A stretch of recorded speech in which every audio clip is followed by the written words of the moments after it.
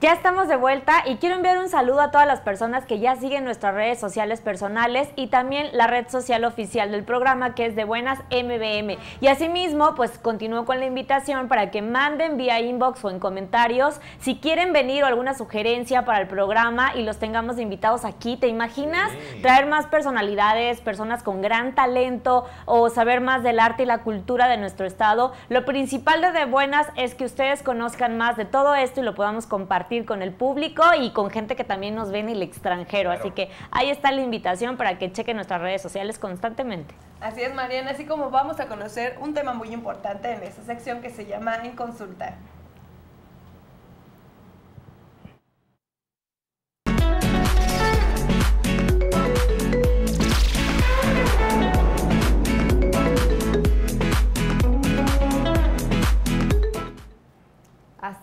Encuentra con nosotros el doctor Alan San.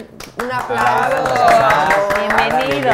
Gracias, muy amable. Qué gusto que nos acompañes y sobre todo con un tema tan importante que es la donación de sangre, ¿no? Claro que sí, estamos muy contentos. Primero agradecemos a la invitación que nos realizan, eh, principalmente por nuestro coordinador internacional, el doctor William Soto, eh, llevando este proyecto que es este, Donando la Savia de la Vida. Este es un proyecto de, este, la Embajada Mundial de Activistas por la Paz, es una organización de carácter internacional, no gubernamental, eh, que está en más de 20 países en toda Latinoamérica, en Europa y en, África. Y tiene dentro de sus proyectos que tiene es la jornadas de donación sanguínea. Ya vamos por nuestro noveno maratón internacional en Oaxaca, por nuestro noveno maratón internacional de donación sanguínea, que es un proyecto de intervención social que tiene un aporte sociocultural y altruista fundamentado en el principio del amor por la vida. Y nuestro, nosotros lo que hacemos es eh, promover la solidaridad, el respeto, la dignidad humana, la paz y este, la felicidad integral del ser humano.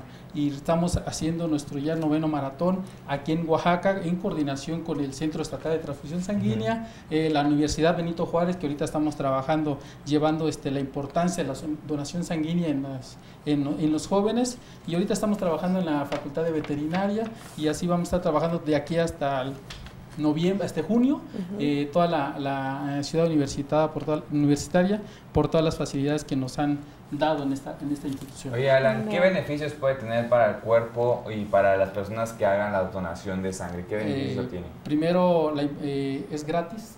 Ok. ¿no? Dos, hay un examen médico completo a, todo donador altruista. segundo, vas a poder prevenir enfermedades cerebrovasculares trombos, como se le conocen, coágulos, y vas a poder evitar, vas a recuperar esas células nuevas, vas a oxigenar tu, tu organismo y aparte este, de esto eh, vas a salvar vidas, que es lo principal. Vamos a ayudar a niños con leucemia, a mujeres con hemorragias embarazadas principalmente, o en personas que tienen accidentes eh, que llegan de, de, manera urgente a los hospitales. Entonces, eh, dar este, aportar este, este vital líquido, pero principalmente que ya se tenga este vital líquido en, el centro estatal, pero que sea de manera altruista. ¿Tiene algún riesgo donar sangre? No, Para las personas que a veces como que temen donar Hay un mito, ¿no? Muy grande siempre. Mitos, y Eso es lo que estamos trabajando con, con los jóvenes, eh, tratar de evitar esos mitos, unos de, de que si se vende, de que, que lucran con estas, este, este vital líquido, no es cierto, eh, por eso los invitamos que acudan. otro es de que si voy a engordar. ¿No?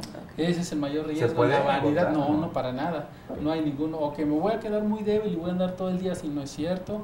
Eh, eh, no es lo, lo, que se obtiene en una donación sanguínea, son 450 mililitros de, de ese vital líquido. Y recordemos que toda la tecnología, todos los avances científicos, ahorita no hay un laboratorio que pueda producir todos los componentes de este vital Claro. Ese, ese laboratorio somos nosotros. Sí. Entonces, somos los únicos que podemos tener este. ¿Quién es buen este candidato para donar sangre? ¿Qué necesita Eh, cuáles son las características? Los, los requisitos son de 15 a 65 años de edad, eh, que pesen más de 55 kilos, eh, que no, no consuman alcohol o bebidas alcohólicas este, 24 horas antes. Ah, este, eh, no, no es necesario ir en ayunas, pueden tomar algún, ¿Ah, sí? este, sí pueden tomar un jugo, un, este, una manzana, un desayuno ligero en las Ligero, mañanas, este, principalmente en líquidos. Se les sugiere no Ok. tomar, por ejemplo, café eh, nada más o, refrescos de cola que- Claro, que, este, o algún este, líquidos que los puedan este, eh, alterar su metabolismo, alterar. ¿no? Este, principalmente. Pero es solamente, eh, si tienen tatuajes, antes se decía que si tiene No se tatuaje podía, ya puede ¿no? donar. Si tiene un año que ya se realizó su, su tatuaje, puede ir a donar. ¿no? Si padeció hepatitis antes de los 11 años de edad, puede ir a donar. Entonces, y que esté embarazada. Esos son los únicos eh, Condiciones. Que no, condiciones que no pueden ir a donar. Los demás pueden irse a donar y pueden irse a hacer un chequeo eh, general que les va a ayudar. Y aparte, este, el Centro Estatal de Transfusión Sanguínea, a los que son donadores altruistas, que, van cada tres, cada o dos, tres veces por año, les otorga una credencial donde dice, este, va con su fotografía y sus datos y le dice, ¿sabes qué? Si tú le llegaras a necesitar este vital líquido por algún accidente tú o algún familiar directo, Ujú. automático Tienes por ser el pase, un- ¿no? así tienes este tu, tu credencial sangre. así tienes disponible ya tu sangre y sabes que soy un donador altruista inmediatamente te lo dan ¿Y cómo, ¿Y cómo ha sido la respuesta de los oaxaqueños en Eh, estos la nueve verdad años que han estamos, estado con este proyecto? eh, avanzando increíblemente, la respuesta de los jóvenes es increíble, realmente estamos sorprendidos, eh, han eh, acudido, han respondido y gracias por todas las oportunidades también que nos dan por, para poder difundir este, difundir este, este, este trabajo, ah, hemos tenido respuesta. Por ejemplo, como antecedentes, cuando llegamos al Centro Estatal de Transfusión Sanguínea, el doctor Matos, que es el director del Centro Estatal de Transfusión Sanguínea, nos decía que al año necesita el centro estatal como de 3.600 unidades por año de manera altruista. ¿Cuánto, qué, cuánto Llegaban cantidad es 3.000? 50 al año. ¿Cuán- De las Llegaban unidades, cuando cuánto, llegamos. ¿cuánto tienen las unidades? ¿O de cuánto es? 300, eh, 450 400. Ah, mililitros. entonces imagínate Entonces, 3.000. Wow. Imagínense, del año de 3.500 que necesitaban, nada más llegaban de manera altruista 50.